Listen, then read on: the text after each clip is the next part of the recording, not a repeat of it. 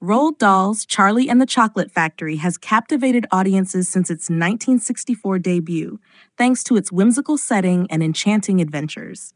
Its sequel, Charlie and the Great Glass Elevator, however, took a dark and fantastical turn that diverged significantly from the original's charm, which might explain why it has never been adapted into a movie.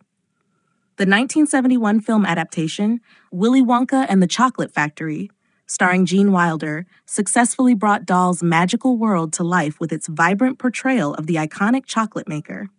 Tim Burton's 2005 remake, featuring Johnny Depp, and the recent 2023 prequel Wonka, starring Timothée Chalamet, further explored the enigmatic chocolatier's origins. Yet, despite this cinematic interest, Charlie and the Great Glass Elevator remains notably absent from the big screen. Released in 1972, Charlie and the Great Glass Elevator diverges dramatically from the light-hearted tone of its predecessor. While the original film enchanted audiences with imaginative settings and playful transformations, the sequel introduces darker elements.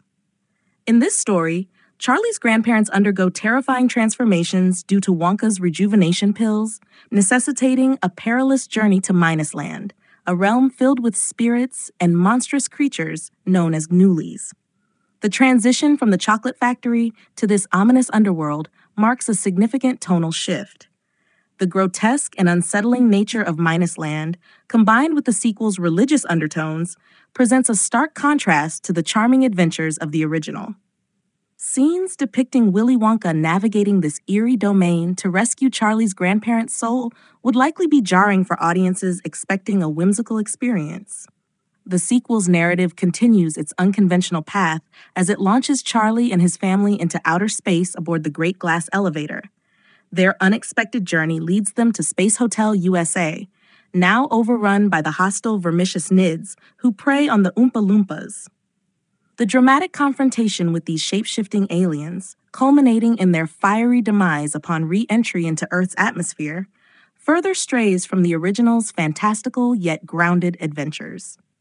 The space and horror elements of Charlie and the Great Glass Elevator present a blend of science fiction and alien horror that contrasts sharply with the whimsical world of Willy Wonka. This genre shift might explain why major film studios, including Warner Brothers and Paramount, have opted to avoid adapting this sequel.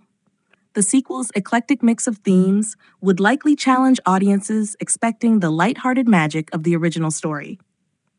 While Charlie and the Great Glass Elevator offers intriguing developments and a deeper exploration of the Willy Wonka character, its dramatic and genre bending twists make it a challenging candidate for adaptation.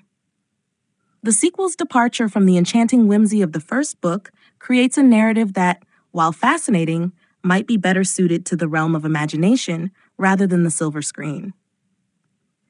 As Netflix recently acquired the rights to Roald Dahl's works, it remains to be seen if any future projects will revisit the sequel.